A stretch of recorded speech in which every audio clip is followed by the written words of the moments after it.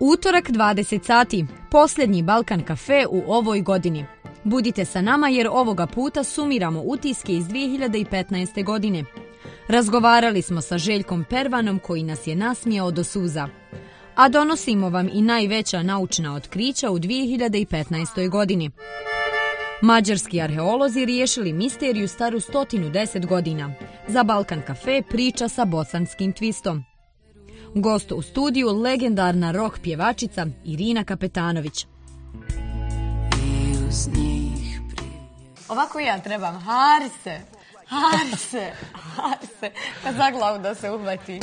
Nije to, Harse, nije to, kad ti pogrešno najaviš.